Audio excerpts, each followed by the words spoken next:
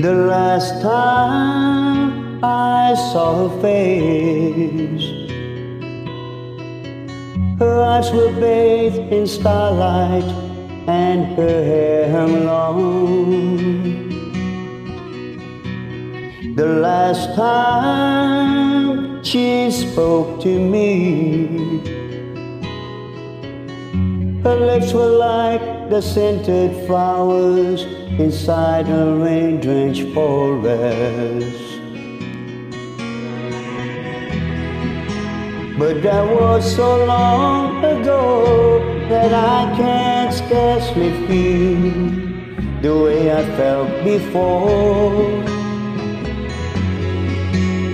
And if time could heal the wounds, I would tear the threads away that I might bleed some more. The last time I walked with her,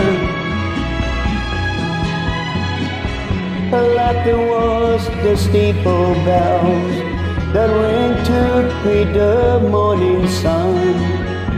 A voice that called to everyone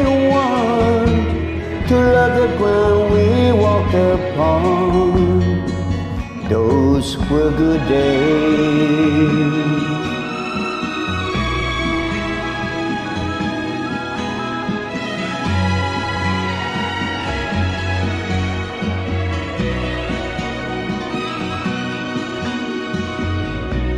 The last time I held her hand Touch was autumn, spring and summer and winter too The last time I let go of her She walked away into the night I lost her in the misty streets. A thousand months, a thousand years. When other lips will kiss her eyes, a million miles beyond the moon. Way she is.